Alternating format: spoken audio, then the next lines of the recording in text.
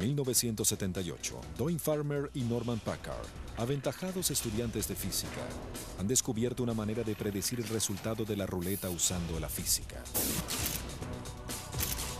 Y han entrenado a sus compañeros estudiantes para ayudarlos a sacar provecho de su sistema. Ahora es el momento de iniciar su ataque. La ciudad del pecado, la bestia de neón, aterradora, pero hermosa. Ahora es el momento de hacerla caer. Mientras salíamos del auto para entrar en los casinos, siempre había un poco de flujo de adrenalina, porque de hecho íbamos al campo de batalla. Nos separábamos. Tú tomas esta cuadra y esa, y nosotros iremos al Jarras y al Silver Nugget. La guerra contra la ruleta comienza silenciosamente. Nadie sospecha que estos estudiantes tienen una ventaja secreta. Nadie llevaba computadoras corporales entonces.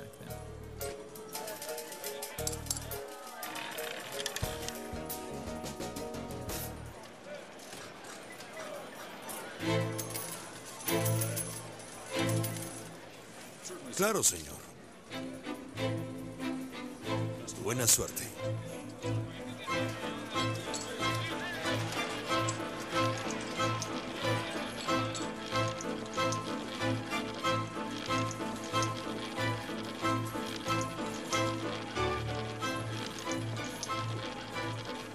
Requería de mucha atención operar la computadora y hacer predicciones. Tenías que presionar cuando el rotor pasaba un punto de referencia, presionar cuando la bola pasaba un punto de referencia.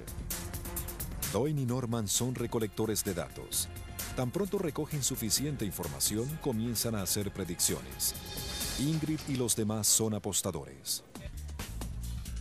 Si el recolector de datos apostaba a los pares, se suponía que debías entrar al juego como apostador. Hola. Hola.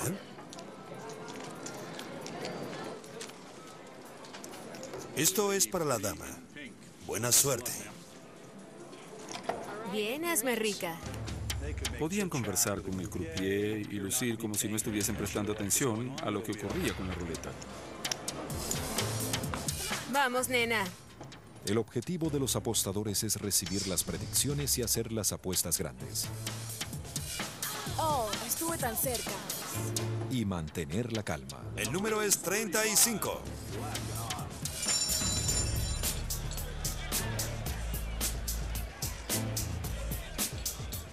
Tenía un buen presentimiento sobre ti. Felicidades. Era como hacer música.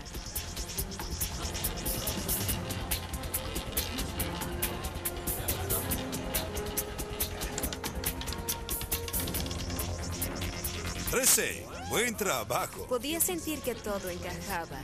Gané unos 600 dólares en una hora y media o dos horas con apuestas de uno o dos dólares y la sensación era grandiosa. Felicidades. Gracias. Santo cielo, mis pulgares volaban. ¿Cómo mantuviste esa expresión sobria? Creo que... Nuestro croupier estaba tan confundido. Por Isaac Newton.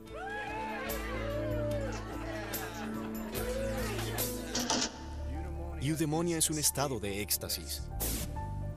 Esta noche lo sabemos. Lo hicimos. La física vence a la ruleta. Nosotros vencimos a la ruleta. Los equipos de Doyne y Norman comienzan a usar su sistema en los casinos de Las Vegas. Es sensacional estar en un casino con una tonelada de equipo encima. Era difícil mantenerse actuando y no estallar en sonrisas cuando la veía ganar mucho dinero. Mi fantasía era ser como Marlene Dietrich apostando.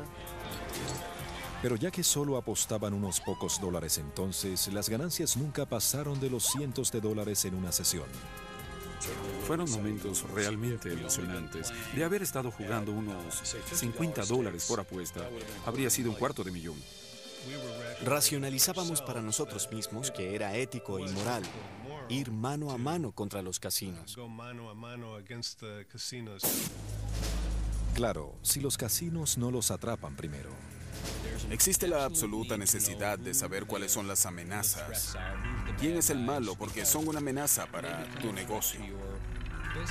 Hay un elemento de Robin Hood en esto. Entonces nos dimos cuenta de que los casinos no tendrían la misma actitud y que no querrían que usáramos estas técnicas. Por supuesto, la seguridad de los casinos comienza a notar sus poco usuales rachas de suerte. El dinero trae calor. Estábamos muy paranoicos de ser descubiertos. El dinero trae atención. Hay muchos agujeros en el desierto de los que nadie quiere hablar. Con la presión de jugar por largas noches sin dormir en una ruleta tras otra y el miedo constante de ser descubiertos, estos jóvenes estudiantes sienten que el proyecto pasa de ser glamoroso a ser penoso. Y al acercarse el fin de las vacaciones de verano, Norman y Doyle deben mantener al equipo unido o arriesgarse a perder años de trabajo y su meta real, crear un Shangri-La científico.